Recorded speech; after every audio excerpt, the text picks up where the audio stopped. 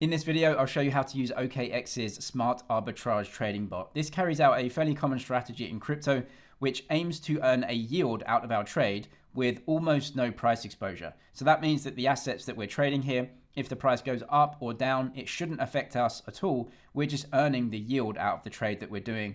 I'll show you exactly what this is and how it works and how to carry it out on OKX.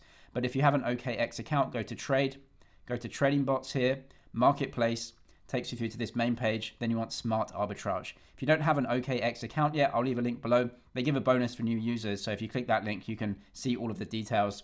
I'll leave some other exchange links down below as well for the exchanges I use. Some of them also have this type of bot. That takes you through to the trading page. Yours may look a little bit different. If you go to the top right settings right here, then go th uh, through to interface, you can change the layout. I've just got advanced right for the layout here. Now what you want to do is uh, go to the bots. If you click Smart Arbitrage, it should take you through. But on the trading screen, you can also get there through the tools icon. So tools, and then it says trading bots here. Trading bots, click that. Then you can see all of these different ones. We want Smart Arbitrage. So that's how you get through to Smart Arbitrage. And it's going to give you the different assets that you can trade with this strategy and the different yields that have been gained from trading this strategy over certain time periods three days, 30 days, 90 days. We can also choose different assets here, as you can see, and there are different yields that you can get. So all of these yields change, and the assets that you can trade also change. It shouldn't matter which assets that you're trading because this strategy uh, should have zero price exposure. So if you're trading Bitcoin or Solana or Ethereum or anything else, it shouldn't matter. The price going up or down shouldn't matter. It just matters what the funding rate is and what the yield is that we can get out of this asset. So what exactly are we doing here? The Smart Arbitrage Trading Bot is carrying out a very common strategy in crypto, which is known as Spot Futures Arbitrage. So I'll explain it right here. In financial markets, and definitely in crypto, there are derivatives markets, which means that you can trade the price of assets without actually trading the asset itself. Now there's the spot market as well, which is where you cash settle trades. So if I want to buy Bitcoin with cash, I send USDT to someone or USD to someone, they send me Bitcoin, we exchange immediately, and the, and the ownership of those assets is exchanged. In the futures markets, what you can do is simply trade with other people the price of the asset. So you don't trade the asset at all, you're just trading the price of the asset. Now in crypto, the futures market has something called a funding fee. Now, this funding fee is the yield that we're trying to get from this trade.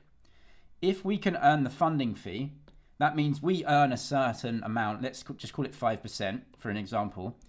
And so we can earn that funding fee if we carry out this trade, which is known as a delta neutral trade. Delta neutral meaning that what we want to do is gain exposure to get the funding fee, but we don't want any price exposure to the asset. So what we do is we go to the, the spot market, and this is what the bot does automatically for us. We just say, hey, I want to invest X amount of dollars. Can you carry out this trade for me automatically? So that's what it does. So we go to the spot market, and let's say we buy one unit of ETH or any other asset. Now we're long ETH, which is not good because we have price exposure. So what we have to do is go to the futures market, and we can take a short position in one ETH. That's basically like selling. Now, we're not actually selling the asset, we're just trading the price of the asset. And in futures, you can take a short position, meaning that it's like selling, but you actually benefit when the price goes down. And if the price goes up, then you obviously lose because you'd have to buy back higher to close out the trade. But in any case, what we're doing here is taking a long position of one, one unit and a short position of one unit. So a long one and short one. That means if the price goes up, the long wins and the short loses. If the price goes down, the long loses and the short wins. Which, if we're del- if we're delta neutral, meaning we're perfectly hedged either side, then it doesn't matter what happens to the price. We will never win or lose any money. We're delta neutral, right? So there will be no change. Now, that's obviously completely pointless unless you're getting the funding fee. And that is the yield from this strategy the funding rate is something that is paid in the futures market in crypto. Most of the time in crypto, especially for the larger assets and assets that are going up in price, the funding fee is usually paid to shorts, and we are short in the future. So longs, the other side of our trade, will be paying a fee to shorts, known as a funding fee, and that is what we're creaming off from this trade. Now that could be 1%, it could be 3%, it could be 5%, or it could be way more. Whatever that funding fee is, that's what we're creaming off. So we have a delta neutral trade, meaning that price exposure is basically zero. But whatever the funding fee is on the short side, that is what we're hoping to gain out of this strategy. Nothing is ever risk free though. We have exposure to the funding rate, which in crypto, like I said, is usually positive, which is good for us because we're short, which means that we get paid that funding. However, it can sometimes be negative as well, which means that if we're short, we have to pay that funding. This is how funding works. This is the spot price right here, and the futures price in the futures market can fluctuate up and down above or below the actual price of the, the underlying spot uh, market. If the price in the futures market is above the spot price, that's known as positive funding. That means that buyers are coming into the futures market and pushing the futures price up higher than the spot price. That's not good because the futures price has to match the spot price one for one, otherwise, the market doesn't work, right? Because it's supposed to match the underlying assets. So, if the futures price is too high, those people that are coming in long buying that price have to pay that funding fee to short sellers, which is us. So if we have positive funding, that's good for us because we have that short side of the futures trade. They pay us that fee. However, if the futures price is actually underneath the spot price, so there's many sellers coming in shorting the price, that's known as negative funding because the exchange is going to punish shorts for bringing the futures price below the spot price. And so that's known as negative funding because short sellers have to pay that fee to uh, longs. This fee is trying to incentivize the futures price to be absolutely in line with the spot price, right? So as long as futures is positive, the price is above the spot price, that's positive funding. We earn that as a short seller, we're good. However, if the price is down here, then we have to pay that out. Now, funding is usually exchanged every few hours on crypto exchanges. So, as long as overall you're in a positive funding environment, that's fine. You're going to be earning the funding fee most of the time. Maybe on a couple of occasions you have to pay out the fee. That doesn't matter because you're going to be in this trade for a while and hopefully overall the funding rate is mostly positive. Now in most of the large assets, funding is mostly positive, and certainly in bull markets, funding is mostly positive because you have buyers coming in pushes, uh, pushing prices higher. There's another element to this trade that can also increase the yield that we're earning. Now, for proof of stake assets like Ethereum and Solana and many others, so you can go and go to the Smart Arbitrage Trading Bot here, click the asset itself. You can scroll down the list of certain assets that are proof of stake. Ethereum is proof of stake, Solana, and so on. They pay staking rewards to the token. Staking rewards are basically the fees of the blockchain. Some of those fees are returned to token holders, right? And so you earn that if you're long the asset. Well, we are long the asset, right? Because we have a long position in the spot market. So the short side is earning the funding rate, and the long side can earn the staking rewards.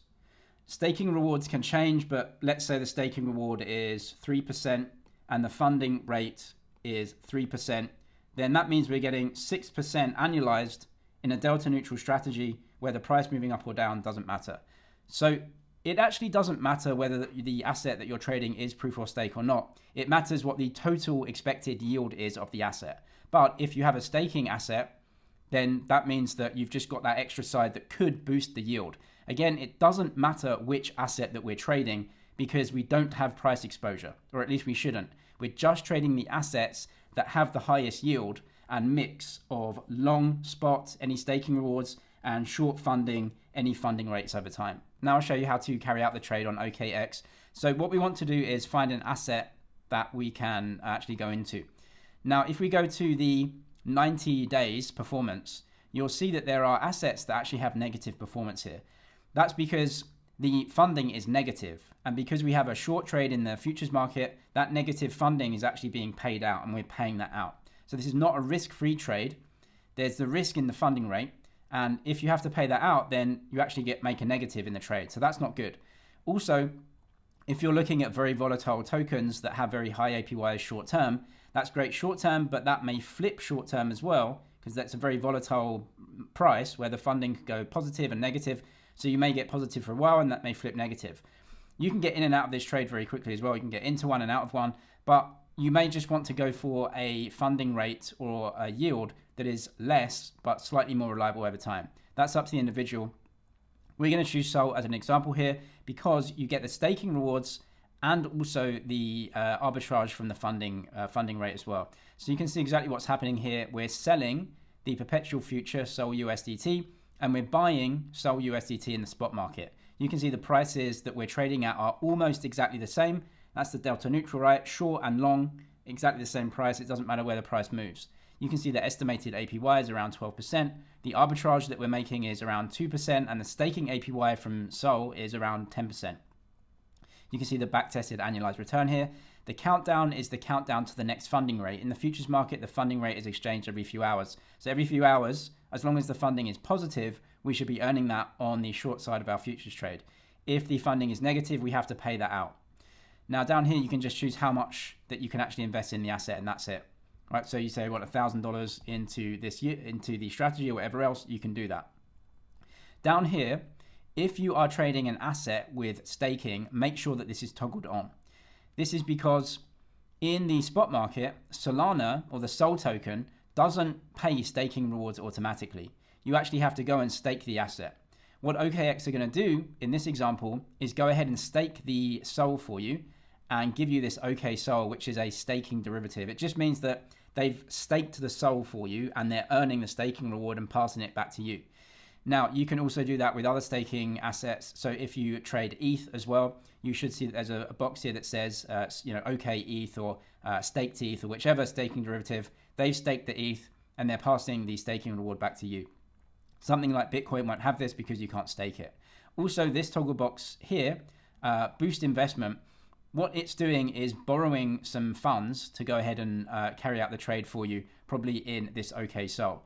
Now, as long as the rate of borrow is below the staking reward that you're getting, then you're basically just creaming an arbitrage between the rate that you're paying on your borrow, your interest rate, and the amount you're getting in SOL as well. You can do that if you want. However, because interest rates are variable, that may again work out negative for you. So it's a risk of the trade. You can do it or not as you as you wish. Let's turn this off for now. And we can see the next arbitrage profit from the futures market is this much the estimated spot investment is this much and the futures investment is this much. What they're doing is taking this amount of money and they're automatically carrying out the trade for us, right? So the spot investment is this, and in the futures market, they're using a bit of leverage to put less money down in the futures trade, even though the the actual tr- uh, trade size should be the same to net out uh, the uh, the long side. If you borrow, as you can see here, what you're doing is borrowing more money and so the spot investment is higher and the futures investment is higher, even though they should cancel each other out. The only uh, what what you're doing here is putting in money into the future trade and using 10x leverage to make the trade size the exact same size as your spot investment. And so over the uh, time, because the trade size is bigger because you're borrowing money, you're obviously earning yield on a larger amount of money. Now you have exposure to the interest rate as well. So if you if you don't want to do that, and you want to have you know, a little less risk, you can just take that boost investment off. That's it. They will create that for you with the amount that you want to invest. Once that's created, that will start running. And the only risk that you have is that the funding rate, if that goes negative, you'll have to pay out. And the OKX, for example, staking, that's going to be paid to you. Uh, that staking rate can also change, but it is a staking rate that you'll get. And you should be delta neutral in the trade. Once the uh, trade is active, that will be in your open bots. You can see that hopefully making money. If it starts losing money, you should get out the trade. On the right hand side, it'll just say uh, close bot and it will sell all of the trade for you and return any cash to your account. No trade is risk free, of course. The risk here is that we have exposure to the funding rate, which can change and even go negative, which would be bad for our trade. Now, as long as it's mostly positive, we'll be okay, but we have to manage that. And if funding goes negative for extended periods, we have to consider getting out of the bot. Now, the other uh, risk here is just the opportunity cost. We're taking hopefully no price exposure and just earning the yield, which on Solana right now on OKX is 9%. That's 9% a year, which is fine. But in a bull market, crypto assets will go up a lot more than that. So the opportunity cost is that you're missing out on any potential upside, but there is still some potential downside from the funding rate flipping around. So be aware of that and make the decision if you want to go into this bot or not. That's up to you as the individual. I'll leave the link to OKX down below if you want a bonus when signing up and some other helpful videos down in the description as well. I'm James, this is MoneyZG. Cheers for watching and I'll see you in the next one.